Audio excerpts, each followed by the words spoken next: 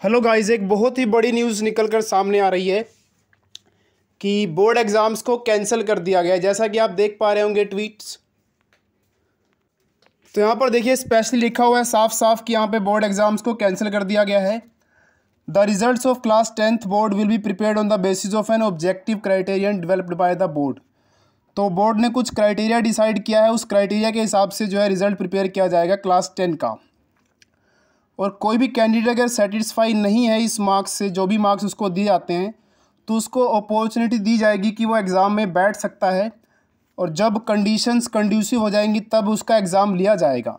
यानी कि अगर कोई ऐसा कैंडिडेट है जिसको लगता है कि जो एग्ज़ाम्स में वो नंबर ला सकता था, उससे कम नंबर उसको दिए गए हैं तो उसको दोबारा से एग्ज़ाम में बैठने का मौका दिया जाएगा, ताकि वो जो रियलिटी में अपनी परफॉर्मेंस दिखा सकता था, वो दिखा सके, उसको मौका मिल सके। तो देखते हैं प्लस टू का क्या होगा। प्लस टू के बारे में अभी साफ़ साफ़ नहीं बताया गया है। अभी सिर्फ़ क्लास टेन के बारे में कहा गया है। क्लास टेन के बोर्ड एग्ज़ाम्स कैंसिल कर दिए गए हैं और उनको जो है मार्क्स दिए जाएँगे। ऑब्जेक्टिव क्राइटेरियन कहा गया अब देखते हैं वो क्राइटेरिया बोर्ड कैसे डिसाइड करेगा, कैसे डिवेल्प करेगा, उसके बारे में भी इंफॉर्मेशन आने वाली है। लेकिन क्लास ट्वेल्व के बोर्ड एग्ज़ाम्स के बारे में अभी फ़ैसला नहीं लिया गया है। उसके बारे में जल्दी फैसला आएगा। हमारे साथ जुड़े रहिए और अपडेट्स के साथ।